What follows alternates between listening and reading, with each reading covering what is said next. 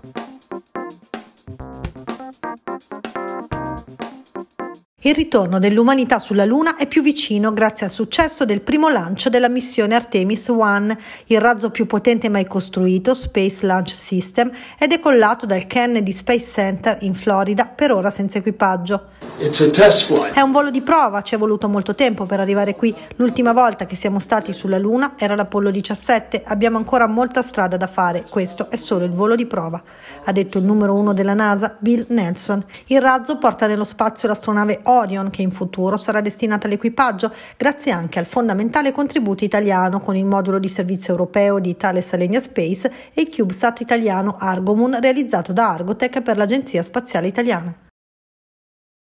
Lo schermo pieghevole è una delle ultime evoluzioni nel campo degli smartphone dal punto di vista dell'hardware. Per anni variavano principalmente per grandezza, numero di fotocamere e poco altro. Poi ecco il cellulare pieghevole che permette di aumentare la grandezza dello schermo riducendo l'ingombro.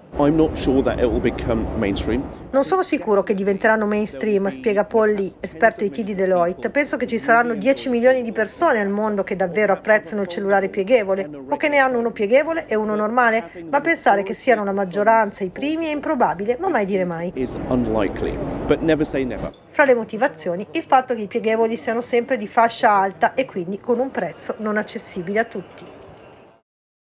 La startup giapponese SkyDrive ha annunciato l'intenzione di mettere in commercio la sua prima macchina volante fra tre anni, in occasione dell'Esposizione Universale di Osaka nel 2025.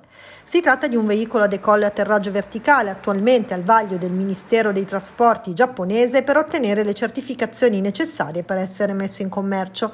Negli anni scorsi sono stati già realizzati test di volo con equipaggio con prototipi grandi all'incirca come due auto.